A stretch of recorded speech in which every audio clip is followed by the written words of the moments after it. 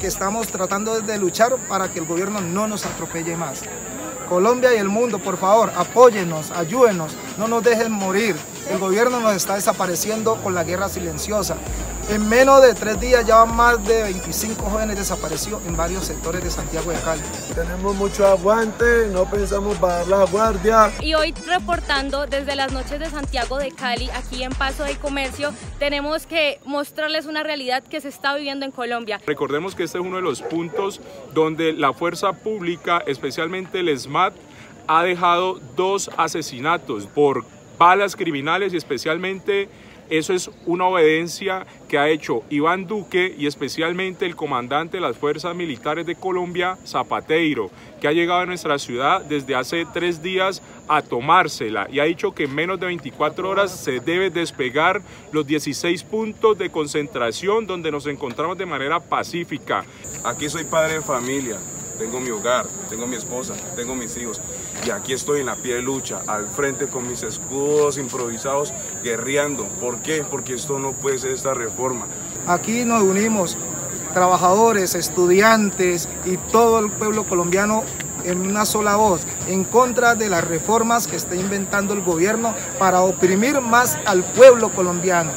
A las personas de mediano y pocos recursos nos están desapareciendo. Vamos a encontrar aquí tanto a mujeres, niños y jóvenes que nos hemos aglutinado frente a un paro nacional indefinido, pero también para dignificar nuestros derechos, derechos que se nos han venido vulnerando hace más de 221 años por las mismas familias. No es posible que Colombia en menos de ocho años nos haya metido más de cinco reformas tributarias. Esta siendo la número 6 en la cual muchos de los jóvenes hemos salido a plantear y a decirle al gobierno nacional, especialmente al gobierno de Duque, que lo que está haciendo es totalmente nefasto, nos está llevando a la miseria. No hay condiciones dignas existenciales, no hay derechos, los derechos humanos nos los han vulnerado, como también la masacre de los jóvenes aquí en este punto.